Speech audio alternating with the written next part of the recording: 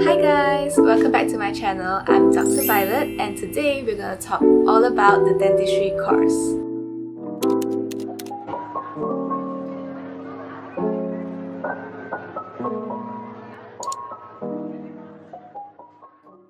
I received numerous DMs on Instagram about dentistry ever since I was an undergraduate student. Questions like, why do you choose dentistry? How do you get into University of Malaya? What are the requirements required to get in? And etc etc. I've compiled some questions on Instagram so finally in this video I'm gonna answer some Q&As about the dentistry course and Bachelor of Dental Surgery in University of Malaya. If you are someone who is contemplating to choose a dentistry course or you have already decided and hoping to get into the course in University of Malaya, I hope that this video today will help you in some way or another. Before we get into the details, don't forget to like, subscribe and turn on the notification bell. Without further ado, let's get started. Okay, a brief summary about my educational journey. After completing SPM in 2011, I went for the one-year matrics program in Kedah and after that I managed to get into the BDS course in University of Malaya in 2013. After 5 years of study, I managed to graduate and I'm currently working under contract with the Ministry of Health Malaysia under their new dental officer program. If you've been following me since my early blogging days, you might probably still remember that I once posted a blog post titled Why Dentistry back in 2014 when I was still a super naive first year dental student, thinking that I could help enlighten others about this potential career path. Reading it now, I felt super embarrassed for the blunt answers I gave back then. In case you're interested to read a cringy but truthful blog post by the 20-year-old me, the link is in the description box below. Kindly note that this post was written 6 years ago, so if you want to judge, by all means, just note that you're judging the immature student that I was 6 years ago. First question, why did you choose dentistry? I'm not gonna give a cookie cutter answer by saying that I have a burning passion and all that, but since high school, I sort of knew that I was more inclined towards science. Not because um, I'm in the science stream, but because I genuinely like the subject and I knew I wanted to do this long term. So back in the days, dentistry isn't a common choice for students at all.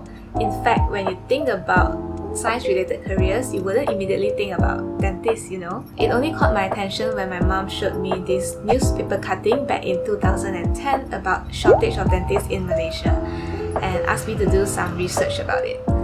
So I wouldn't lie, I was first attracted to this profession because it seems like a professional career with a good work-life balance that can bring in good income. And also it is science related as well, which I really like. Question number two, why not medicine? I always get asked this a lot. It seems like a lot of you are torn between these two choices. But for me, right from the start, even before I came across dentistry as a career choice, I never wanted to become a medical doctor. And the reason is simply because I know I'm not the type of person who can sacrifice a huge portion of my life and dedicating it to the profession. Medical doctors have my utmost respect because it is really not an easy path at all. I have a lot of friends who are housemen and medical doctors and I could see that it requires a lot more patience, a lot more dedication and a lot more tenacity. It was because I understood the sacrifice needed right from the start so I decided that it is not something for me. Uh, Are dentists oversaturated in Malaysia now? In my opinion, sadly, yes. It is really scary to see how the numbers has drastically increased over the years.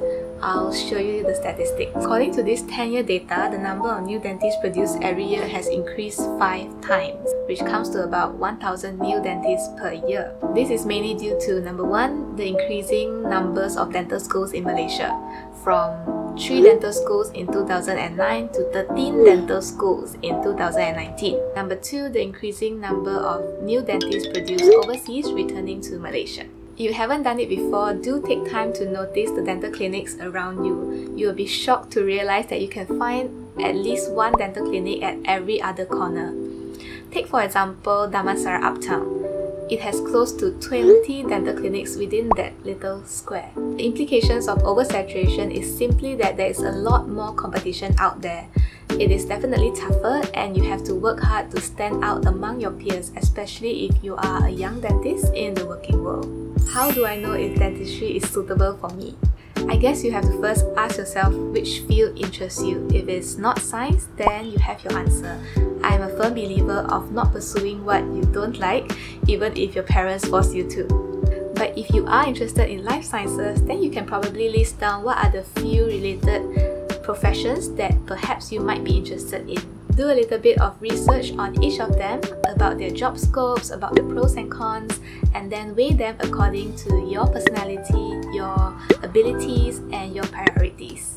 Feel free to ask people around you, maybe request to shadow a dentist and ask their opinions. There is no single best career choice for everyone. I understand that a lot of thinking needs to be done, but no matter what, you have to make an informed decision on your own about what you are going to pursue in the long run. How is the BDS course in UM like? Is it tough? I would say in general, yes, it's tough. Um, it's a five-year course and in your first year, you need to bury your head in books to study the four main subjects which are anatomy, biology, sorry, anatomy, biochemistry, physiology and oral biology. Once you enter second year, there will be operative technique or OPTEC as we call it, where you will be doing dental treatment simulations on real teeth but mounted on phantom heads to train your hand skills for the clinical years ahead. Then once you enter third year onwards, you will start to treat real patients under supervision. And you need to complete all your requirements and competency tests in order to graduate. Exams and quizzes will be held time to time as well, so yeah, it gets pretty draining and pretty stressful both mentally and physically. What are the requirements to get into BDS in UM? I guess everyone who decides to study dentistry locally would want to get into University of Malaya because of its number one national ranking and its reputation. Well, according to the 2019 UM brochure, the requirements for BDS in UM are these. I'm not going to read them all because it's quite long, but feel free to pause this video and take a screenshot or something. I'll also link the official brochure below so you can check it out. Tips for those hoping to get into BDS in UM.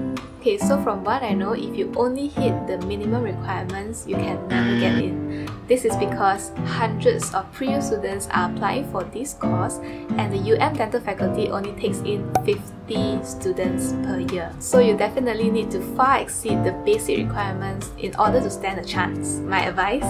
Besides academics, there is one more thing that is really, really, really, really, really important. That is co-curricular marks. This is because of something called UPU. UPU stands for Unit Pengambilan University, a centralized platform that manages the application process for public universities in Malaysia. So basically, all the public university applications need to go through this online system. How the UPU algorithm works is by sorting and shortlisting applicants based on merit marks calculated using the formula of 90% CGPA and 10% co-curricular marks. Many people applying for BDS in UM already have a perfect CGPA of 4.0. Hence, your co-curricular marks play a very important role here.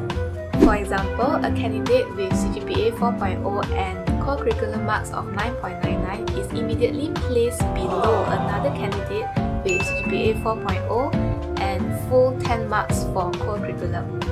So do make it your aim to achieve a full score for both, or at least try to. You can calculate your own UPU merit mark using the calculator on their website. I'll link it in the description below as well.